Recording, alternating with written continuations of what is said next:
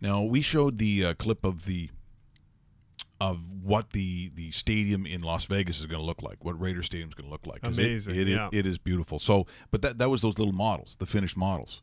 So, what does it? Um, no, I, we don't really have any. I'm going to play this music. Yeah, let's take a flyover on the current stadium right now, building right there in uh, Dave in Las Vegas. Doesn't quite look like the model yet. No, not not yet. Not But it, yet. but isn't it crazy that this is how this starts? How that building? But it's what even crazier? Look at look at what is uh, behind. What? Well, look at what is behind. Yeah, the, All the Vegas hotels. all the strips, everything. The place where Jerry Jones will say, "No, you're not. You're not going there. We're we're going to Henderson, Nevada. We're staying there instead." Look at that.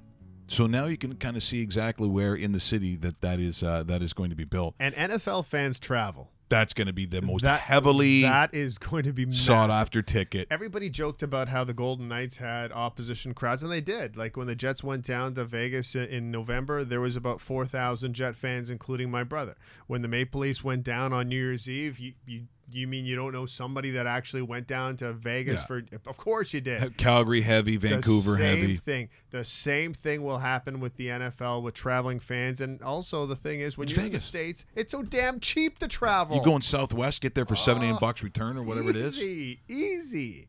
This is going to be this is going to be the destination place, and of course, in a couple of years, that stadium once it's finished, that's going to be the site of the Super Bowl.